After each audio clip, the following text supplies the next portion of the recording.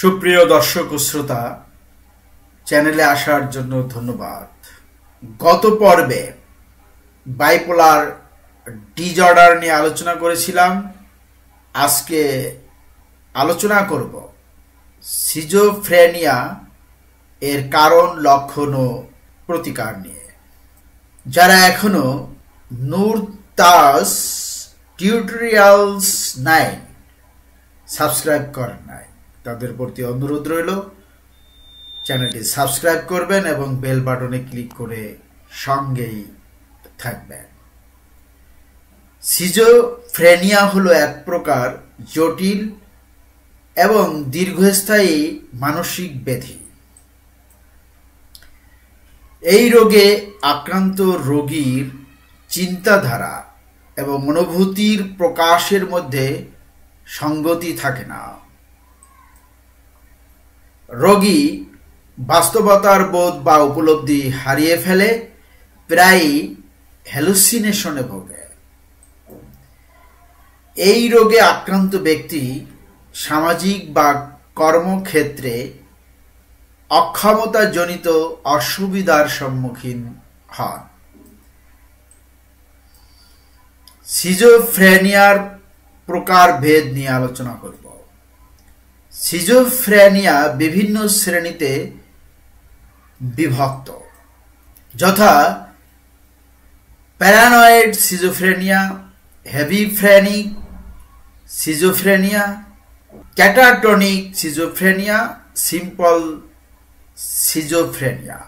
Paranoid schizophrenia এক্ষেত্রে কোনো ব্যক্তির নির্দিষ্ট কিছু ভ্রান্ত বিশ্বাস বা ধারণা, বিভ্রান্তি থাকতে পারে।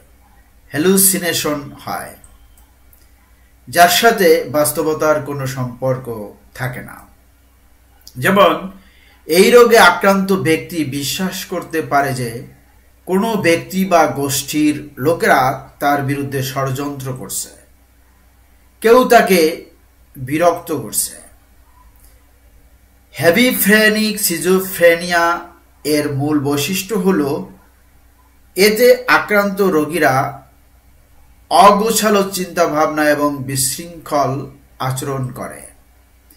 এক্ষেত্রে রোগীর সাধারণত অসংলগ্ন এবং অযৌক্তিক চিন্তাধারা থাকে। এটি দৈনিক ক্রিয়াকলাপ, যেমন রান্না করা, খাওয়া, নিজের স্বাস্থ্যের জন্য যত্ন নেওয়া ইত্যাদিতে বাধা সৃষ্টি করতে পারে। Catatonic schizophrenia. এই ধরনের সিজোফ্রেনিয়ায় আক্রান্ত রোগী শারীরিকভাবে অদ্ভুত আচরণ করতে পারে। হঠাৎ করে উত্তেজিত হয়ে পড়তে পারে। এক্ষেত্রে রোগীর পেশি চালনার ভঙ্গি অস্বাভাবিক হয়। যেমন হাঁটতে গিয়ে হঠাৎ থেমে যাওয়া, নিশ্চুপ হয়ে অদ্ভুতভাবে বসে থাকা, অকারণে মারামারি অন্যরা যা বলছে তা বারবার বলা ইত্যাদি। সিম্পল সিজোফ্রেনিয়া, এক্ষেত্রে সিজোফ্রেনিয়ার লক্ষণগুলি হালকা হয় এবং উগ্রতা প্রদর্শন করে না। যেমন দুর্বল স্বাস্থ্যবিধি এবং অন্যান্য ছোটখাটো শারীরিক ও মানসিক সমস্যা। সিজোফ্রেনিয়ার লক্ষণ। বেশিরভাগ ক্ষেত্রে সিজোফ্রেনিয়ার লক্ষণগুলি হল হ্যালুসিনেশন ভুল ধারণা, অবাস্তব চিন্তাভাবনা, অকারণ সন্দেহ, বিভ্রান্তি, বিড়ম্বনা ইত্যাদি। সিজোফ্রেনিয়ার আক্রান্ত সব রোগীর লক্ষণ এক হয় না। লক্ষণগুলি রোগীর ওপর নির্ভর করে। কোনো কোনো রোগীর ক্ষেত্রে এই রোগের লক্ষণগুলি কয়েক মাস বা বছর ধরে ধীরে ধীরে বিকাশ লাভ করতে পারে বা হঠাৎ করে দেখা দিতে পারে। এ রোগের কিছু লক্ষণ হল, রোগী এমন কিছু শুনতে পায় বা দেখতে পায় যেটা বাস্তবে থাকে না। কথা বলা বা লেখায় অদ্ভুত বা অযৌক্তিক ধরন, আচরণ, গুরুত্বপূর্ণ পরিস্থিতিতে উদাসীন বোধ করা পড়াশোনায় বা বিভিন্ন কাজের ক্ষেত্রে অদ্ভুত পরিবর্তন। ব্যক্তিগত স্বাস্থ্যবিধি এবং চেহারায় পরিবর্তন, অযৌক্তিক রাগ বা প্রিয়জনদের প্রতি ভয়ঙ্কর প্রতিক্রিয়া, ঘুমে ব্যাঘাত ঘটা, অনুপযুক্ত বা অদ্ভুত আচরণ, এই রোগীরা সকলেই প্রায় বাস্তব জগৎ থেকে বিচ্ছিন্ন। কারও কারও কথাবার্তায় প্রথম থেকেই অস্বাভাবিকতা ও বাস্তব বিমুখীনতার পরিচয় পাওয়া যায়। হ্যালুসিনেশন এবং ডিলিউশন যাদের থাকে, তাদের সাধারণ মানুষই অস্বাভাবিক এবং কোনো কোনো ক্ষেত্রে উন্মাদ বলে বুঝতে পারে। আবার কোনো কোনো ক্ষেত্রে দেখা যায়, রোগীর অসাধারণ জ্ঞান বাড়ির লোকদের বিস্মিত করে, তারা রোগীকে নিয়ে গর্বিত বোধ করেন। সিজোফ্রেনিয়ার পজিটিভ উপসর্গগুলি হল ডিলিউশন, এতে আক্রান্ত ব্যক্তিরা সাধারণত ভুল ধারণা বা বিশ্বাস বহন করে, যার সাথে বাস্তবের কোনো মিল থাকে না। যেমন কেউ তার বিরুদ্ধে চক্রান্ত করছে হ্যালোসিনেশন এমন কিছু দেখা, অনুভব করা স্বাদ গ্রহণ, শ্রবণ বা গন্ধ পাওয়া, যার আসলেই বাস্তবে কোনো অস্তিত্ব নেই। এতে আক্রান্ত ব্যক্তিরা অবাস্তব জিনিস অনুভব করে। বিশৃঙ্খল চিন্তাভাবনা এবং কথাবার্তা এক্ষেত্রে রোগী খুব আকস্মিকভাবে একটি বিষয় থেকে অন্য বিষয়ে যায়। রোগীরা বারবার কোনো কথা, শব্দ বা ছড়া পুনরাবৃত্তি করতে পারে। বিশৃঙ্খল আচরণ।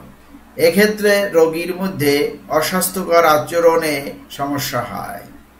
যেমন খুব দ্রুত চিন্তাধারা বদলানো, ভুলে যাওয়া, কোনো সিদ্ধান্ত নিতে না পারা, বিভিন্ন অঙ্গভঙ্গির পুনরাবৃত্তি, শব্দ বা অনুভূতি ঠিক মতো বুঝতে না পারা ইত্যাদি। সিজোফ্রেনিয়ার কারণ। এই রোগের সঠিক কারণ জানা যায়নি, তবে যে যে কারণগুলিকে এই রোগের জন্য দায়ী করা হয়, সেগুলি হল জেনেটিক বা বংশগত এই রোগ থাকলে পরবর্তী প্রজন্মের মধ্যেও দেখা যায়।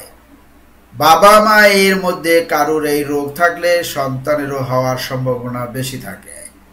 ভাইরাস সংক্রমণ, মানসিকভাবে অত্যন্ত চাপগ্রস্ত পরিস্থিতি ইত্যাদির কারণে এই রোগ হওয়ার সম্ভাবনা থাকে। মস্তিষ্কে রাসায়নিক উপাদানের ত্রুটি এবং নিউরো কেমিক্যাল উপাদানের কোনো ঘাটতি হলে এই রোগ হয়। জন্মকালীন কোনো জটিলতা থাকলেও এই রোগ হওয়ার আশঙ্কা থাকে। গর্ভাবস্থায় কোনো মা যদি ভাইরাস দ্বারা আক্রান্ত হয়, তখন এই রোগ হতে পারে। কিছু উত্তেজক মাদক দ্রব্য এবং ওষুধ এই রোগের কারণ এই রোগের চিকিৎসা, এই রোগের লক্ষণ দেখা দিলে চিকিৎসক বা বিশেষজ্ঞদের পরামর্শ নেওয়া উচিত। এই চিকিৎসার প্রধান মাধ্যম হল অ্যান্টিসাইকোটিক ওষুধ এটি বিভিন্ন উপসর্গ কমাতে সাহায্য করে। এর পাশাপাশি বিভিন্ন থেরাপি ও মনোচিকিৎসাও গুরুত্বপূর্ণ। বিভিন্ন মানসিক চিকিৎসা দ্বারা এর বিভিন্ন উপসর্গকে ভালো করা যায় এবং রোগীর সামাজিক সহায়তাও প্রয়োজন হয়। এছাড়া রোগীকে অ্যানেস্থেসিয়া দিয়ে তার মাথায় ইলেকট্রোড লাগানো হয় এবং ছোট কারেন্টের শক দেওয়া হয়। এতেও রোগীর মানসিক অবস্থা এবং চিন্তার উন্নতি হয়। ধন্যবাদ যারা ভিডিওটি সম্পূর্ণ দেখলেন এবং এখনও যারা Noor Taj tutorials nine subscribe করেন নাই, তাদের প্রতি অনুরোধ রইল, চ্যানেলটি সাবস্ক্রাইব করবেন, কমেন্টস করবেন, শেয়ার করবেন এবং বেল বাটনে ক্লিক করে সঙ্গেই থাকবেন। সবাই ভালো থাকুন, সুস্থ থাকুন, নিরাপদে থাকুন। আল্লাহ হাফেজ।